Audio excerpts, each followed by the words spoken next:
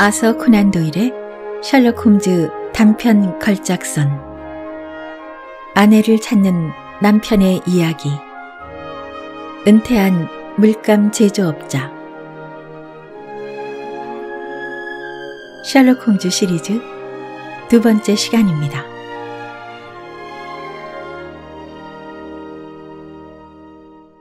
등장인물 천재적인 사립탐정 셜록 홈즈.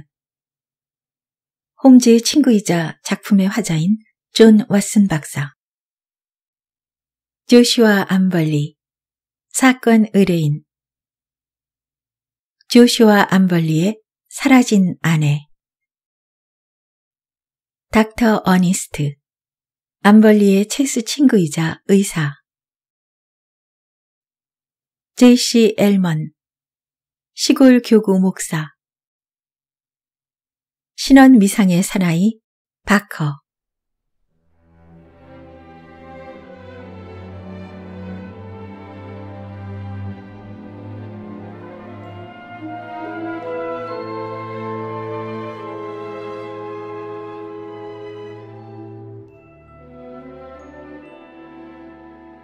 그날 아침 셜록 홈즈는 감상적인 분위기로 사색에 잠겨 있었다. 그것은 그날 아침 홈즈를 찾아온 초로의 남자 때문이었다. 그 남자는 불행해 보였다. 왓슨, 그 사람 봤나? 홈즈가 물었다. 방금 전에 자네 방에서 나간 남자 말인가? 그 남자 자네 의뢰인인가? 내가 물었다. 뭐 그렇게 부를 수 있겠지. 런던 경시청에서 나에게 보냈네. 마치 정식 의사들이 가끔씩 불치병자들을 돌팔이 의사에게 보내는 것과 마찬가지로 말일세. 그러면서 의사들은 환자를 위해 더 이상 할 수 있는 것이 없다고 말하곤 하지. 그래, 무슨 사건인가? 홈즈가 탁자 위에 있던 약간 구겨진 명함을 들어 올렸다. 그 초로의 남자는 조슈아 암벌리로 블릭폴 앤 암벌리라는 미술 재료를 만드는 회사의 부사장이었다. 왓슨도 그 회사 이름이 페인트 통 위에 적힌 것을 본 적이 있었다. 조슈아 암벌리는 61살에 회사에서 은퇴를 했으며 상당한 금액의 저축이 있었다. 지칠 줄 모르는 탐욕의 삶을 끝내고 마침내 휴식을 찾아서 정착한 것이다.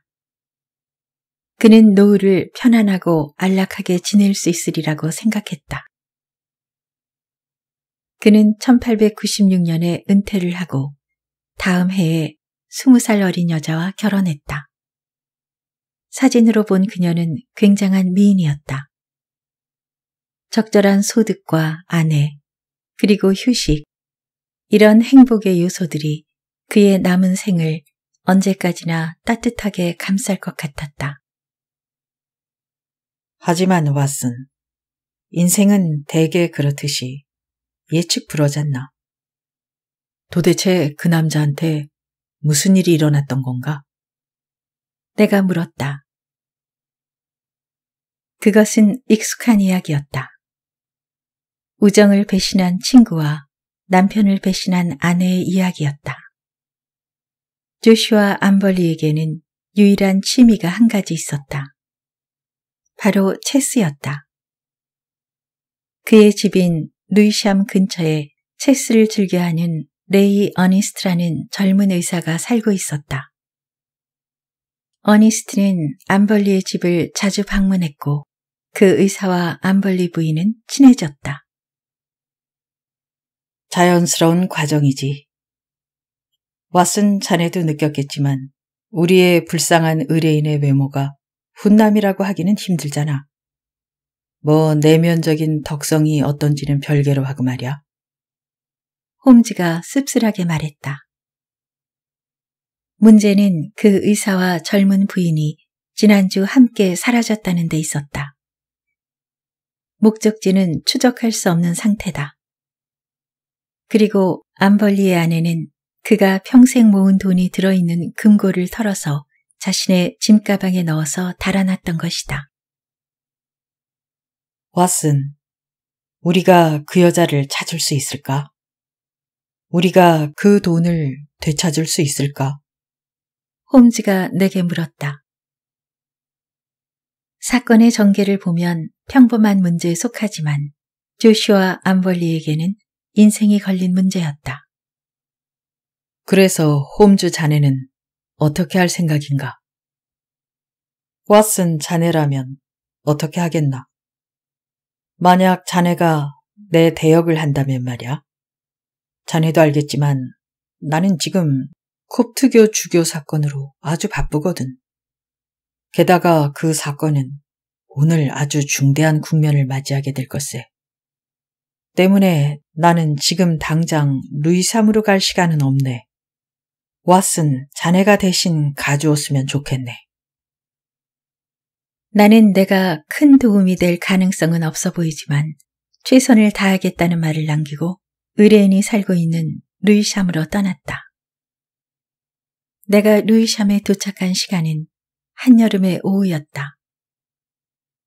그리고 내가 베이커가로 다시 돌아온 것은 늦은 저녁 무렵이었다. 나는 홈즈에게 맡은 임무 수행의 결과에 대해서 설명했다. 그는 깊은 안락의자 위로 투박한 긴 손가락을 얹고 누운 듯 앉아 있었다. 그의 담배 파이프에서 매운 담배 연기가 화환처럼 천천히 피어올라왔다. 나른한 눈꺼풀이 눈을 완전히 덮고 있었기 때문에 그는 졸고 있는 듯 보이기도 했다. 하지만 내가 말을 멈추거나 명확하지 않은 말을 하는 경우 눈꺼풀이 들어 올려졌고 회색의 눈동자가 쌍날의 검처럼 날카롭게 빛났다. 그리고 무언가를 찾는 듯한 눈빛으로 나를 뚫어지게 바라보았다. 조슈아 암벌리 씨 저택의 이름은 안식처였어. 내가 설명하듯 홈즈에게 말했다. 그의 집은 가난한 귀족이 자신보다 못한 사람들 사이로 퇴락한 것처럼 보였다. 단색의 벽돌이 깔린 거리에 더러운 교회의 큰 도로가 통하는 지역. 그 한가운데에 약간의 품위를 갖춘 그 낡은 집이 작은 섬처럼 서 있었다. 홈즈, 그 집은 말이야. 햇빛에 바랜 낡은 벽이 높다랗게 주변을 둘러싸고 있었고, 그 담장 아래에는 이끼와 식물들이 멋대로 자라고 있더군. 왓슨, 시를 쓰는 것 같은 소리는 그만 두게. 홈즈가 진지한 어조로 말했다. 그러니까 왓슨 자네 말은 매우 높은 벽돌 담장이라는 거군. 정확히 그렇다네. 나는 거리에서 담배를 피우고 있던 행인에게 물어보지 않았다면 어떤 집이 안식처인지를 알아차리지 못했을 것이다. 그 행인은 키가 크고 구릿빛 피부를 가진 마치 군인처럼 보이는 사람이었다. 덥수룩한 콧수염을 기른 그는 내가 질문을 하자 고개를 끄덕여서 대답을 대신한 후 호기심이 가득 찬 눈빛으로 나를 바라보았다.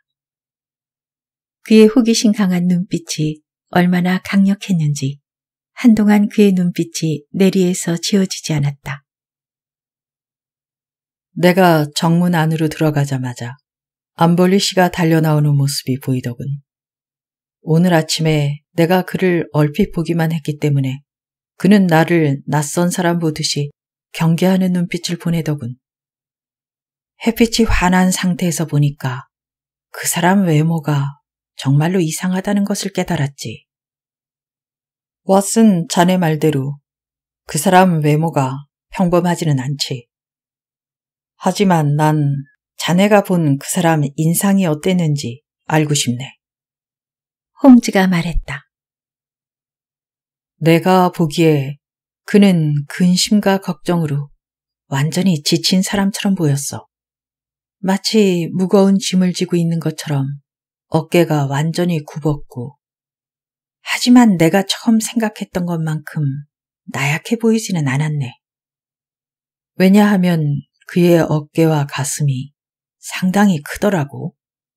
물론 아래로 내려가면서 마른 다리 때문에 몸매 전체는 가늘어지기는 하지만 잘 보았네, 왓슨. 그런데 왼쪽 신발은 구겨져 있고 오른쪽 신발은 잘 닦여 있었지. 글쎄, 그것까지는 못 받는걸. 왓슨 자네가 알아차리기는 힘들었겠지. 나는 그의 팔과 다리가 일부러 꾸민 듯 하다고 생각했지. 하지만 자네 이야기를 계속 듣고 싶네. 홈즈가 나에게 이야기를 재촉했다. 낡은 밀짚 모자 아래로 회색 머리가 꼬인 것이 내려왔는데 마치 뱀처럼 구불거리는 모습 때문에 나는 약간 놀랐지. 그리고 깊게 패인 얼굴 주름살과 거칠고도 격정적인 표정을 가진 얼굴이 아주 인상적이었네. 좋아, 아주 좋아, 왓슨. 그래, 그가 무슨 말을 했지? 조슈와 안벌리는 불만과 불행으로 가득한 자신의 이야기를 나에게 풀어놓기 시작했다. 우리는 정원을 같이 걸어가면서 이야기를 했다. 나는 그렇게 관리가 엉망인 집을 본 적이 없었다. 잡초가 무성하고 방치된 식물들이 미적 기준을 무시한 채 마구 자라나 있었다. 어떤 여자가 이런 정원 상태를 참고 방치했는지 나로서는 좀처럼 이해할 수 없었다. 집안 역시 더럽고 지저분한 정도가 최악에 이르고 있었다. 그 불쌍한 남자도 그 사실을 견디지 못하겠는지 상황을 낫게 해보려고 노력하는 듯 했다. 거실 한가운데 커다란 초록색 페인트통이 놓여 있었다. 그 불쌍한 남자는 왼손에 커다란 붓을 들고 실내를 꾸미는 작업을 하던 중이었다. 그는 나를 데리고 그 비참한 성역 안으로 들어갔다. 그리고 오랜 대화를 나누었다. 그는 홈즈가 직접 오지 않아서 실망했다고 말하면서도 재정적으로 큰 타격을 받은 나 같은 비참한 사람을 위해서 셜록 홈즈처럼 유명한 사람이 완전한 관심을 기울여 주리라는 기대는 욕심이라는 것을 잘 알고 있다고 했다. 나는 그 문제에 대해 그의 실망감을 덜어주고 싶어서 잠옷 진지하게 말했다. 조슈아 안벌리 씨, 재정적인 문제는 아직 제기된 적이 없습니다. 물론 그렇겠지요, 왓슨 박사님. 셜록 홈즈 씨는 아마 예술 그 자체를 추구하는 분일 테니까요. 하지만 범죄의 예술적인 측면을 고려하면 이 사건에서 연구하고 배울 점이 분명히 있을 겁니다. 그러니까 인간의 본성 말입니다. 인간의 본성의 어두운 안쪽에는 배은 망덕함이 도사리고 있죠. 왓슨 박사님, 생각해 보십시오. 아내가 부탁하는 것을 내가 하나라도 거부해 본 적이 있었을까요? 그토록 사랑을 받아본 여자가 있었을까요? 그리고 그 젊은 의사 말입니다. 나는 그를 마치 아들처럼 대했습니다. 그는 우리 집을 마음대로 드나들었어요. 하지만 그 두 사람이 나를 어떻게 배신했는지 보십시오. 왓슨 박사님, 정말 끔찍한 세상이 아닙니까? 그는 그런 이야기를 거의 한 시간가량 퍼부어댔다. 그는 음모나 아내의 불륜이 있을 것이라곤 추워도 의심하지 않았다. 그 집에는 부부 단둘만 살았고 아침에 왔다가 저녁 6시에 퇴근하는 가정부가 한 명 있었다. 사건이 벌어진 그날 밤, 안벌리 씨는 아내를 위해 헤이마켓 극장에 고급층 좌석 두 개를 예약했다. 그런데 마지막 순간 아내가 두통이 있다면서 가지 않겠다고 했다. 그는 어쩔 수 없이 혼자서 극장에 갔다. 홈즈, 그의 말은 의심할 여지 없이 사실이었네. 아내를 위해서 샀다가 사용하지 못한 극장표를 내게 보여줬거든. 아주 훌륭해. 지금까지 이야기들 중 가장 훌륭한 이야기네. 홈즈는 그 사건에 대한 관심이 고조되고 있는 듯 들떠서 말했다. 이야기를 계속해보게 왓슨. 자네 이야기가 아주 흥미롭군.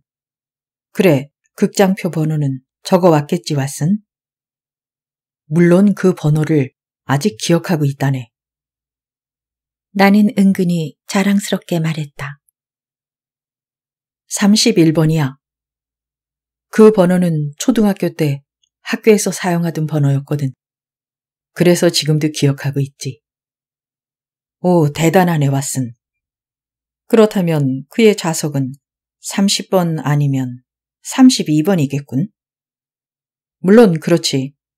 그리고 비열이었어. 완벽하네, 왓슨.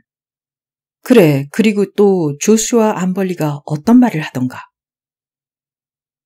조슈아 암벌리는 나에게 금고실을 보여주었다. 그 방은 정말로 은행에 있는 금고실처럼 보였다. 강철문과 셔터가 있었고 도난 방지 장치도 되어 있었다. 하지만 그의 아내가 열쇠 복사본을 가지고 있었나 봐. 그 열쇠로 금고실을 열고 대략 7천 파운드 가치의 현금과 채권을 가지고 사라진 거지. 채권이란 말이지, 왓슨. 그러면 도망친 아내가 그 채권을 어떻게 처분할 수 있을까? 주슈아 암벌리의 말로는 경찰에 채권 목록을 제출했고 판매 금지를 기다리는 중이라고 하더군. 그날 밤 자정 무렵에 극장에서 돌아온 조슈아 암벌리는 금고실이 약탈당한 것을 발견했다. 집안의 모든 방문과 창문이 열려 있었고 아내는 사라진 뒤였다. 남겨놓은 편지나 쪽지도 없었다. 상황을 깨달은 암벌리는 즉시 경찰에 신고했던 것이다. 이야기를 듣고 난 홈즈는 몇 분 동안 생각에 잠겼다가 입을 열었다. 그런데 왓슨, 아까 자네 말로는 암벌리 씨가 페인트 칠을 하는 중이라고 했지. 그가 어디에 페인트 칠을 하는 중이던가.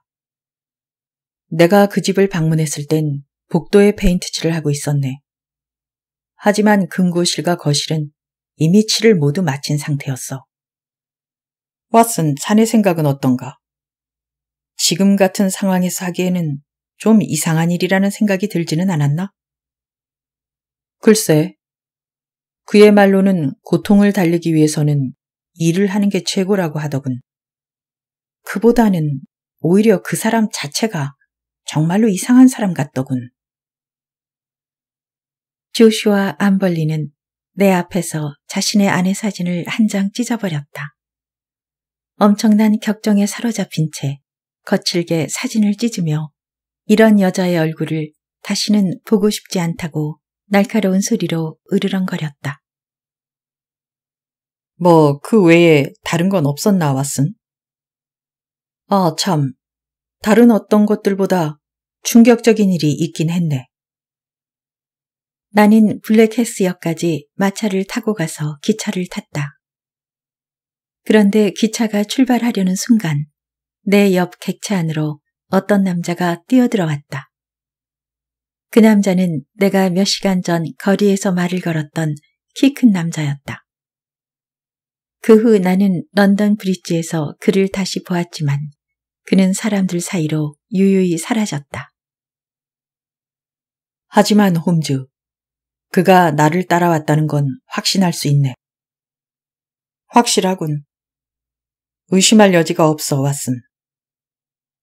그런데 왓슨, 그 남자가 키가 크고 그을린 피부에 덥수룩한 콧수염을 기른 남자라고 했지. 그리고 짙은 회색으로 코팅된 선글라스를 끼고 있었고.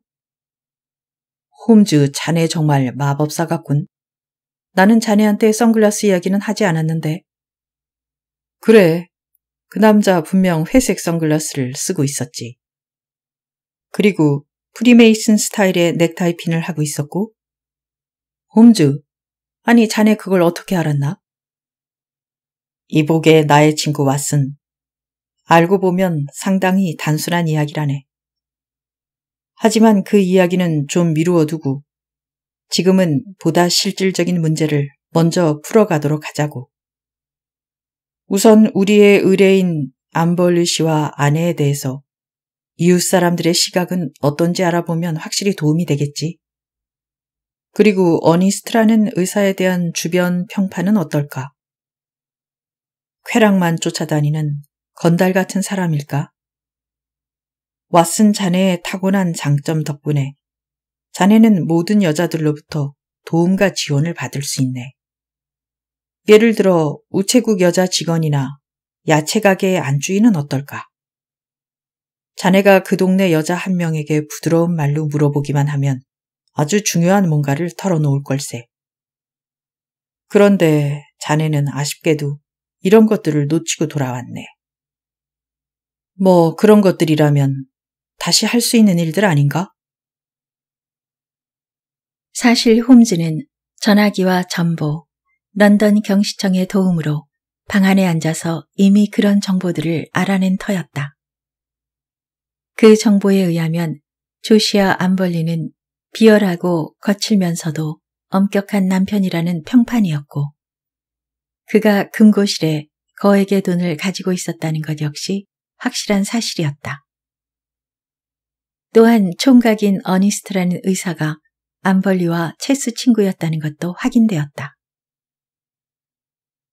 왓슨, 어쩌면 말이야. 그 의사가 암벌리의 아내와 불륜을 저질렀을 가능성도 크지. 하지만 여기에는 그 누구도 묻지 않고 말하지 않은 것이 한 가지 있네. 아직 아무도 언급하지 않은 것 말일세. 뭔가 설명하기 어려운 부분이라도 있나, 홈즈? 어쩌면 그럴 수도 있지. 하지만 그 문제는 우선 묻어두자고 왔음. 지금은 이 지겨운 근무 시간을 떠나서 음악의 세계라는 다른 세상으로 가보자고. 알버트 홀에서 카리나가 노래를 부를 거야. 그리고 또 우리에게는 정장을 차려입고 밤을 즐길 시간이 아직 남아있다네. 다음 날 아침 나는 늦지 않게 일어났다. 그러나 접시에 놓인 빵 조각과 두 개의 빈 달걀 껍질을 보고 내 친구가 훨씬 더 일찍 일어났다는 것을 알 수 있었다. 나는 탁자 위에 놓인 쪽지를 보았다. 나의 친구 왓슨. 조슈아 암벌리 씨와 관련해서 미리 확인해두고 싶은 사람이 두 명이 있어. 그 일을 마치고 나면 우리는 사건을 해결할 수 있을 거네. 뭐 아닐 수도 있겠지만 자네에게 유일하게 부탁하고 싶은 건 3시의 시간을 비워놓게. 아마도 자네가 꼭 필요해질 것 같네. 셜록 홈즈 그날 하루 종일 나는 홈즈를 보지 못했다. 그러나 3시가 되자 그가 돌아왔다. 골똘한 생각에 잠긴 그는 다른 것들에 대해서는 무심한 상태였다. 그럴 때에는 그를 혼자 두는 것이 현명한 결정이었다. 왓슨, 암벌리 씨가 아직 오지 않았어? 오지 않았네만. 왜 오기로 약속돼 있나? 아, 나는 그가 오기를 기다리는 중이야. 곧바로 조슈아 암벌리가 도착했기 때문에 나의 친구 홈즈가 실망할 일은 없었다. 암벌리의 엄격한 얼굴 위로 당황스럽고 걱정에 찬 표정이 떠올라 있었다. 전보를 받았습니다. 셜록 홈즈 씨, 나는 통 그것이 무슨 의미인지 알 수 없군요. 그가 전보를 건넸고 홈즈가 크게 읽었다. 지금 당장 올 것. 당신의 최근 사건에 대한 정보를 줄 수 있음. 사제관의 엘몬. 리틀 펠링톤에서 2시 10분 발송된 전보군요. 홈즈가 말했다. 리틀 펄링톤은 SS에 있죠. 내가 알기로는 프린톤에서 멀지 않아요. 당연히 당신은 그곳으로 가야죠. 상당히 신뢰할 수 있는 그 지역 교구 목사에게서 전보가 왔지 않습니까? J.C. 엘먼, 교구 목사, 리틀 펄링턴 근처 무스무어에서 살고 있음. 리버풀역에서 5시 20분 기차가 있을 거야. 내가 말했다. 훌륭해, 왓슨. 자네가 지금 암벌리 씨와 같이 출발해 주었으면 좋겠는데, 왓슨. 아마도 도움이나 충고가 필요할 거야. 이번 사건에 있어서 위기 상황을 맞게 된 것이 확실하군. 하지만 우리의 의뢰인은 그곳으로 가고 싶어 하지 않았다. 홈즈 씨, 이건 말도 안 되는 이야기입니다. 안 그렇습니까? 그 목사가 대체 무슨 일이 일어났는지 뭔가 알고 있을 리가 없습니다. 이건 완벽한 시간과 돈 낭비가 될 거예요. 그 교구 목사가 뭔가를 알고 있는 것이 없었다면 당신에게 전보를 보내지 않았겠죠. 지금 당장 출발하겠다고 전보를 보내십시오. 나는 갈 생각이 없습니다. 그러자 홈즈가 매우 싸늘한 표정을 지었다. 암벌리 씨, 만약에 명백한 단서가 떠올랐음에도 불구하고 당신이 그걸 따르기를 거부한다면 그건 나에게나 경찰에게나 좋지 않은 인상을 남기게 될 겁니다. 다시 말해서 이번 사건의 조사에 있어서 당신이 완벽하게 진실된 말과 행동을 하지 않는다는 인상이 남을 겁니다. 홈즈의 말에 우리의 의뢰인이 공포심을 느끼는 듯 했다. 당신이 그런 식으로 말한다면야 내가 거기로 가야겠죠. 내 말은 협조하지 않겠다는 뜻이 아니었습니다. 하지만 아무리 생각해도 그 멀리에 사는 목사가 뭔가를 알고 있다고 가정하는 건 굉장히 불합리해 보이는군요. 하지만 당신 생각을 존중하도록 하지요. 서로 불편한 대화를 나눈 우리는 짧은 여행을 위해 밖으로 나섰다. 우리가 방 밖으로 나가기 직전 홈즈가 내 옆으로 다가와 한마디 충고를 했다. 그 말을 보면 홈즈가 이번 사건을 얼마나 중요시하는지 알 수 있었다. 왓슨, 무슨 수를 써서라도 그가 정말로 리틀 펄링톤으로 가는지 확인해야 돼. 만약 그가 중간에 다른 길로 새거나 돌아온다면 가장 가까운 공중전화를 찾아서 딱 한마디만 전해주게. 새어나감. 이렇게 말이야. 내가 어디에 있든 그 말이 나에게 전달되도록 준비를 해놓겠네. 리틀 펄링턴은 철도의 지성 구간에 있었기 때문에 가는 길이 쉽지 않았다. 날씨는 너무 뜨거웠고 기차도 느렸으며 동행이 침묵을 지켰기 때문에 내 기억으로는 그 여행은 결코 유쾌하지 않았다. 조슈와 암벌리는 간혹 우리의 행동이 얼마나 무용한 것인지 냉소하는 말을 내뱉었다. 마침내 우리는 작은 기차역에 도착했고 그곳에서 목사관까지는 3km가 떨어져 있었다. 목사관의 문이 열리면서 덩치가 크고 엄숙한 얼굴에 약간 잘난치 않은 태도의 목사가 우리를 맞이했다. 그가 우리를 서재로 안내했고 우리는 그의 앞에 전보를 내려놓았다. 좋습니다, 신사분들. 제가 뭘 해드리면 되겠습니까? 그가 물었다. 당신의 전보를 받고 여기로 왔습니다. 내가 설명했다. 전보라고요? 나는 전보를 보낸 적이 없습니다. 그가 말했다. 그러니까 내 말은 주슈아 암볼리 씨에게 목사님이 보낸 전보 말입니다. 그의 아내와 돈에 대한 내용이었죠. 허, 참. 만약 이것이 농담이라면 의도가 무엇인지 참으로 의심스럽군요. 교구 목사가 화를 내며 말했다. 나는 지금 당신이 말한 이름을 들어본 적이 없습니다. 그리고 나는 그 누구에게도 전보를 보낸 적이 없습니다. 나와 우리의 의뢰인은 놀라서 서로를 바라보았다. 아마도 실수가 있었던 것 같군요. 혹시 이 지역에 목사님이 두 분 있습니까? 여기 그 전보가요. 엘먼이라는 서명이 되어 있고 목사관에서 발신된 것이라는 표시가 있죠. 내가 엘먼 목사에게 서명을 보여주었다.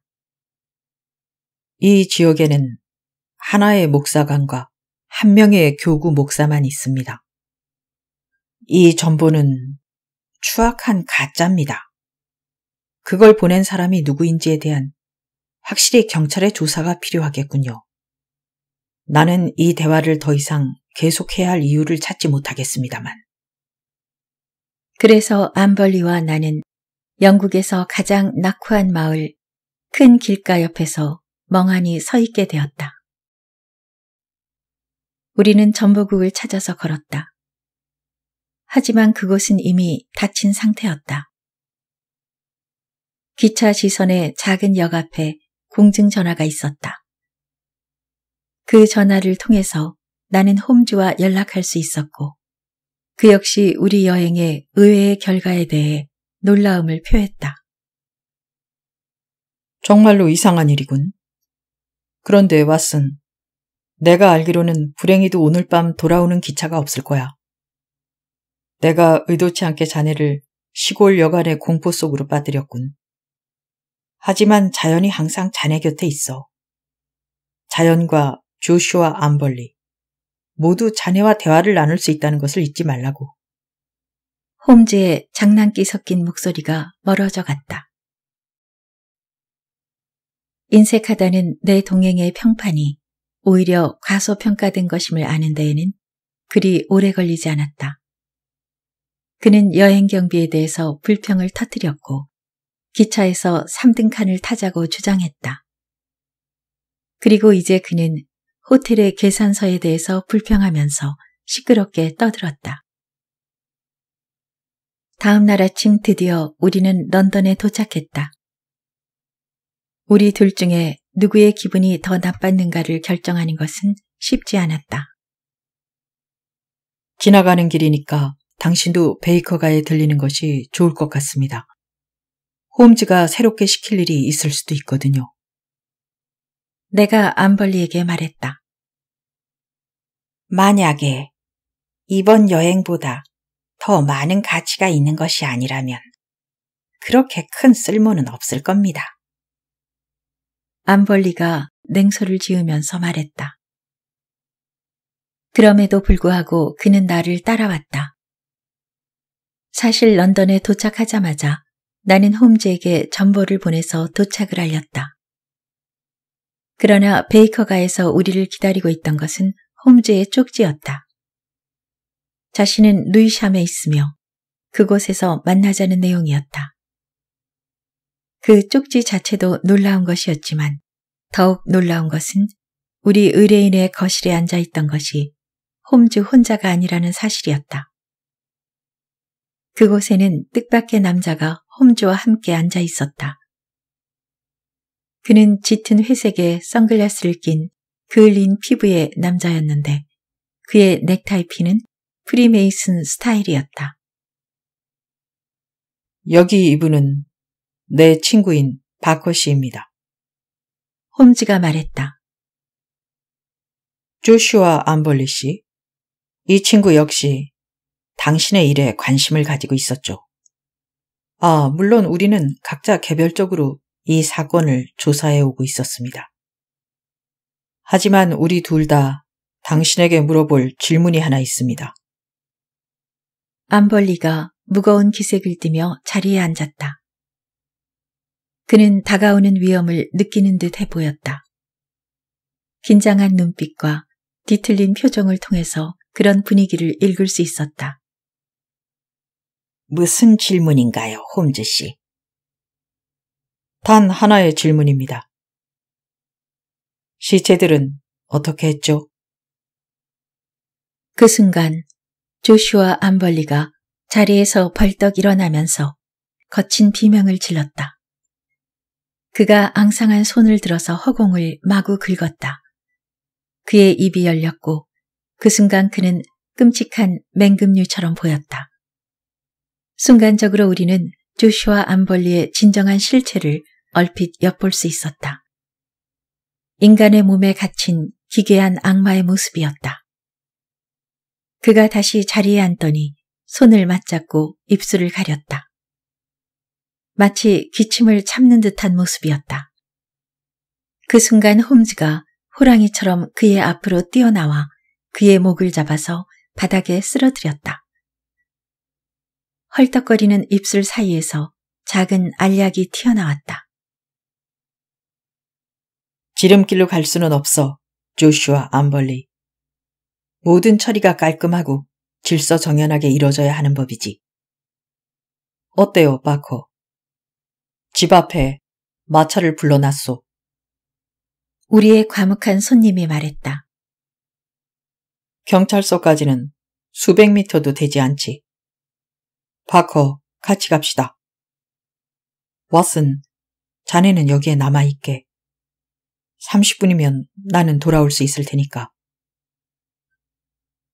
조슈아 암벌리는 커다란 몸통에 사자처럼 강한 힘을 가지고 있었다. 하지만 두 명의 노련한 사냥꾼의 손에 잡힌 이상 그는 무기력했다.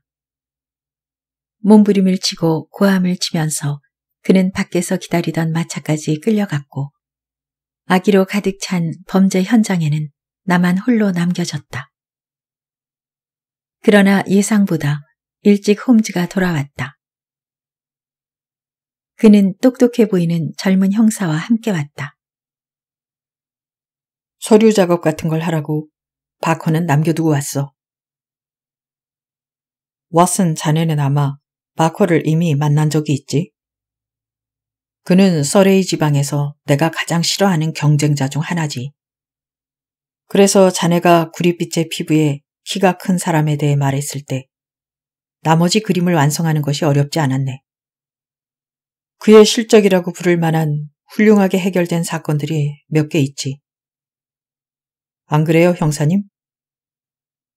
뭐, 그가 개입해서 해결한 사건들이 몇 가지 있습니다.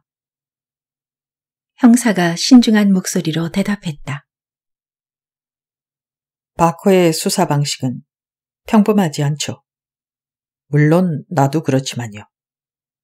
하지만 가끔씩은 평범하지 않은 방식이 빛을 발하는 법이죠. 아마도 그랬을 겁니다.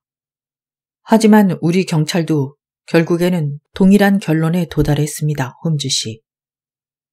이 사건에 대해서 우리 경찰이 우리들만의 관점을 확립하지 못했다는 말은 하지 말아 주십시오. 그리고 우리 역시 결국에는 이 악당을 체포할 수 있었을 겁니다. 당신이 이 사건에 끼어들어서 우리가 사용할 수 없는 방법을 사용하고 그렇게 함으로 해서 우리 실적을 빼앗아간 것에 대해서 우리가 서운하게 여겨도 양해해 주셔야 합니다. 난 그렇게 당신들 실적을 빼앗을 생각은 없어요. 맥키논 형사, 지금 이 순간부터 이 사건에서 나를 지울 예정이요.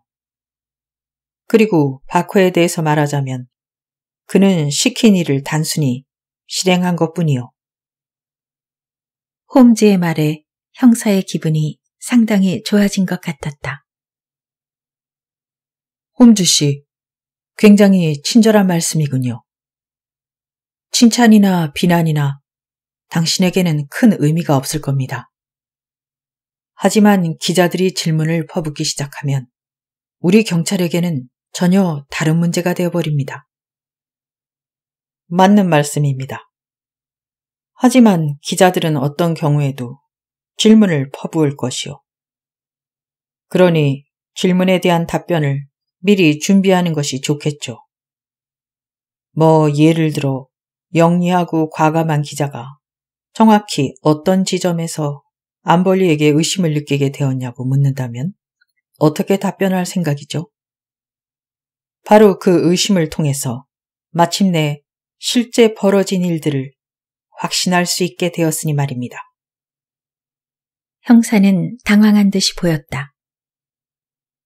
홈즈 씨, 우리 경찰은 아직 사건의 실체적 진실을 파악하지 못한 것으로 보입니다. 당신 말로는 자신의 아내와 아내의 연인을 죽였다는 범인이 세 명의 증인 앞에서 자백을 한 다음 자살을 하려고 했다는 사실뿐입니다. 그것 말고 다른 사실들이 더 있습니까? 그러니까 범인의 자백 외에는 아는 것이 없다는 거군요. 좋습니다. 수색 준비는 했습니까? 홈즈가 물었다. 지금 여기로 세 명의 경찰관이 오는 중입니다. 그렇다면 조만간 아주 명료한 사실들을 확인할 수 있을 겁니다. 시체는 여기에서 먼 곳에 있지 않아요. 지하 창고와 정원을 수색해 보시오. 시신이 있을 만한 곳을 파내는 것이 어렵지 않을 겁니다. 이 집은 이 지역에 수도관이 설치되어 연결되기 전에 지어졌어요. 그러니 어딘가에 지금은 쓰지 않는 우물이 있을 겁니다. 거기를 뒤져보시오. 하지만 홈즈 씨, 정확하게 무슨 일이 일어났던 겁니까?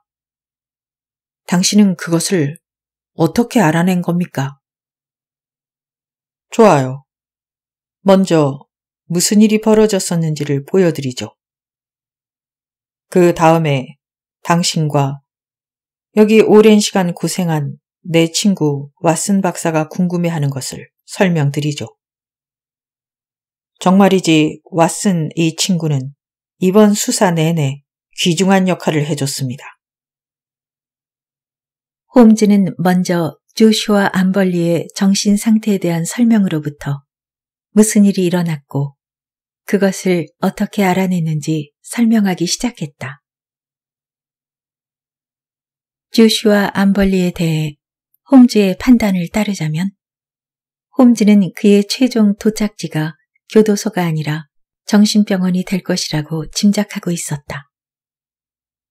병적일 정도로 구두쇠인 암벌리는 너무 인색하게 군 나머지 자신의 아내가 무언가 위험한 계획을 품도록 만들었다. 그 위험이라는 것은 바로 체스를 두는 의사라는 형태로 실체화되었다. 암벌리는 체스를 잘 두었다. 그런 점에서 음모와 계획에 능숙할 수도 있었다. 그는 질투심이 너무 강했기 때문에 결국에는 그 질투심이 광기가 되었다. 아내와 의사의 관계에 대한 의심은 사실일 수도 있고 잘못된 의심이었을 수도 있지만 어쨌든 그는 아내의 불륜을 의심했다. 그는 복수를 하기로 결심하고 마치 악마처럼 교묘한 계획을 짰다. 자, 여기를 좀 볼까요? 홈즈가 우리를 복도로 안내했다. 그는 마치 그 집에서 살았다고 느껴질 정도로 확신에 찬 태도였다. 홈즈는 활짝 열려진 방문 앞에서 멈췄다. 그 방은 금고실이었다. 정말로 끔찍한 페인트 냄새군요. 형사가 얼굴을 찡그리며 말했다.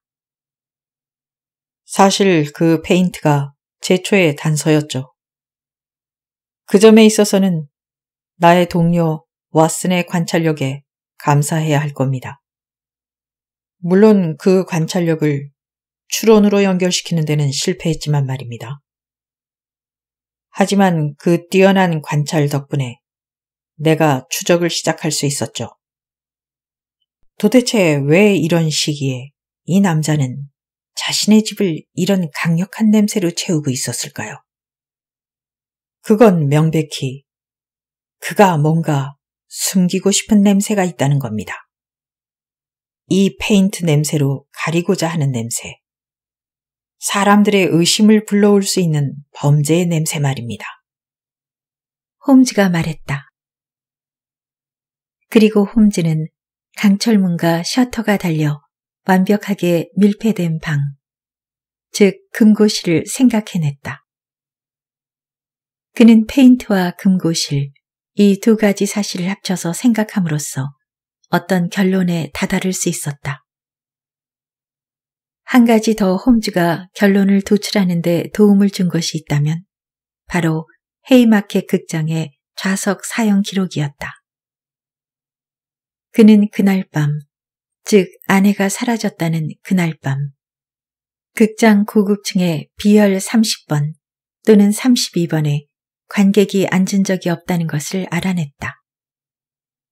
즉 조슈아 암벌리는 그날 밤 극장에 간 적이 없고 그것은 곧 그의 알리바이가 거짓이라는 사실을 증명해 주는 것이었다.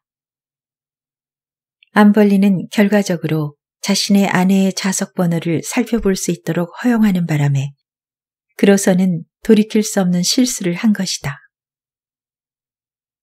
한 가지 홈즈에게 남은 과제가 있었다면 암벌리의 집에 대한 현장 조사가 필요하다는 것이었다. 홈즈는 이 집을 어떻게 직접 조사할 수 있을까 고심한 끝에 암벌리를 되도록 멀리 떨어진 시골 마을로 갈 수밖에 없도록 상황을 만들었다. 크로포드 지역의 목사의 전보를 이용한 것이 바로 그것이다. 물론 그 착한 목사님의 이름은 크로포드 인명록에서 찾은 것이죠. 그리고 혹시 문제가 생길 걸 대비해서 왓슨 박사가 그를 따라갔죠. 어때요? 이제 모든 것이 명료해졌겠죠? 정말 대단한 수사력입니다. 형사가 경외감에 찬 목소리로 대답했다. 그렇게 해서 나는 방해를 받지 않고 빈집을 털기 시작했죠. 시간이 넉넉했기 때문에 나는 원하는 걸 찾을 수 있을 거라고 확신했습니다. 자, 이제 내가 찾은 것을 보시죠. 홈즈가 가리키는 곳으로 시선을 돌리자 마루 장식을 따라서 가스관이 연결된 것이 보였다. 가스관은 벽 쪽을 타고 위로 올라가며 금고실로 들어가 있었다. 그리고 천장 한가운데 볼록 튀어나온 석고판에서 끝이 났으며 그 석고판에는 장식이 달려 있어서 가스관이 숨겨져 있기에 안성맞춤이었다. 그 숨겨진 가스관의 끝은 열려 있었다. 때문에 언제라도 바깥쪽 가스 잠금 장치를 열면 방 안쪽에는 가스가 가득 차게 되어 있었다. 강철문과 셔터를 닫은 상태에서 잠금 장치를 완전히 열면 이 작은 방 안에 갇힌 사람은 2분 이상 의식을 유지하지 못할 것이다. 암벌리가 어떤 방법을 써서 희생자들을 이 금고실 안까지 유인했는지는 알 수 없지만 그들이 이 방 안에 들어온 순간 그들은 암벌리의 소나기에 잡힌 셈이었죠. 형사가 흥미로운 눈빛으로 가스관을 살펴보았다. 우리 경찰관들 중 한 명이 가스 냄새에 대해서 언급한 적이 있었습니다. 하지만 그때는 창문과 방문이 모두 열린 상태로 이미 페인트가 일부분 칠해져 있었죠. 범인의 설명에 따르면 하루 전에 페인트 칠을 시작했다고 하더군요. 그런데 홈즈 씨, 과연 금고 실로 연결된 가스관과 페인트 칠, 이 두 가지로 어떤 범행이 일어났는지 어떻게 확신한 겁니까? 물론 아직은 부족하죠. 또 수사 도중에 나 자신도 예측하지 못했던 사고가 일어나기도 했고 말입니다. 홈즈는 왓슨과 암벌리를 전보를 핑계로 크록포드 지역으로 보내고 이른 새벽 여명을 이용해 창고 창문을 통해 암벌리 저택으로 들어갔다. 그때 누군가의 손이 홈즈의 셔츠를 거칠게 잡아챘다. 그리고 의문의 목소리가 위협적으로 으르렁거렸다. 이 악당아, 도대체 여기서 뭘 하는 거지? 그 목소리에 바로 고개를 돌린 홈즈의 시선에 회색 선글라스를 쓰고 구렛나루를 덥수룩하게 기른 남자가 보였다. 그는 홈즈의 친구이자 경쟁자인 마커라는 탐정이었다. 뜻밖의 조우였기에 두 사람은 긴장을 풀고 어색한 미소를 지었다. 바커는 닥터 어니스트 가족의 부탁을 받고 이 사건을 조사 중이었다. 그 역시 이 집에서 비열한 범죄가 일어났다고 확신하고 있었다. 바커는 며칠 동안 이 집 앞에서 잠복해왔으며 이 집을 방문한 왓슨 박사도 의심스럽다고 판단했지만 섣불리 체포할 수는 없었다. 그러나 여명 속에서 누군가가 창고 창문을 타고 사건 현장으로 들어가는 것을 보는 순간 직접적으로 나서지 않을 수 없었던 것이다. 홈즈와 바커는 사건에 대한 의견을 나누었으며 함께 조사해 나가기로 합의했다. 홈즈 씨, 왜 그였습니까? 왜 우리는 아니었습니까? 형사가 섭섭하다는 표정으로 물었다. 왜냐하면 나는 마음속으로 작은 시험을 해보자는 생각을 했거든요. 물론 그 시험 결과가 얼마나 훌륭한지는 지금 잘 드러났죠. 경찰이라면 나처럼 평범하지 않은 방식으로 범인을 시험하지는 않을 거라는 생각이 들더군요. 그 말에 형사가 미소를 지었다. 맞습니다. 우리 경찰이라면 그러지 않았을 수도 있죠. 이제 홈즈 씨 당신은 이 사건에서 발을 빼고 그동안 모은 모든 사건 관련 결과물을 우리 경찰에게 넘기겠다고 약속해 주신 걸로 알겠습니다. 물론이죠. 뭐, 그게 언제나 내 관행이었으니까요. 홈즈 씨, 경찰을 대표해서 제가 감사 인사를 드리겠습니다. 홈즈 씨께서 정리해 준 것을 생각해 보면 아주 명료한 사건입니다. 그리고 또 시신을 찾는 것도 그리 어려운 일이 아닐 것 같습니다. 좋습니다.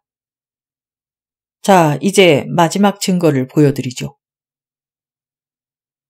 홈즈는 암벌리가 이 증거를 제대로 살펴본 적이 없었을 거라고 확신했다. 그것은 다른 사람의 자리에 자신을 집어넣고 자신이라면 어떻게 했을까라는 생각을 해보아야만 얻어낼 수 있는 것이기 때문이다. 그러나 상상력을 조금만 발휘한다면 누구나 찾아낼 수 있는 것이기도 하다. 자, 이제부터 당신이 이 작은 금고실 안에 갇혔다고 생각해 보시오. 그리고 남은 시간은 2분 정도고, 당신의 적은 강철문 반대편에서 당신을 비웃고 있고, 당신은 그에게 복수를 하고 싶다고 생각해 봐요. 그런 상황에서 과연 할 수 있는 일이 있을까요? 뭘 할 수 있을까요? 홈즈가 형사에게 물었다. 뭔가 메시지를 남기는 겁니다. 바로 그겁니다. 그 두 사람도 바로 정확히 그랬죠. 그랬다. 암벌리의 아내와 닥터 어니스트는 자신이 어떻게 죽었는지 다른 사람들에게 알리고 싶었다. 그러나 종이에 뭔가를 쓰는 것은 소용이 없다. 그 종이가 범인의 손에 들어갈 테니까. 하지만 바닥이나 벽에 뭔가를 쓴다면 범인이 아닌 다른 누군가 그것을 알아차릴 수도 있을 것이다. 그렇다. 금고실 바닥 한켠에 알아보기는 힘들지만 보라색 연필 자국이 있었다. 그것은 우리는 단지 세 글자가 다였다. 그걸로 뭘 알 수 있습니까? 형사가 물었다. 그 불쌍한 사람은 이 글을 쓸 당시 바닥에 쓰러져서 죽어가는 상태였죠.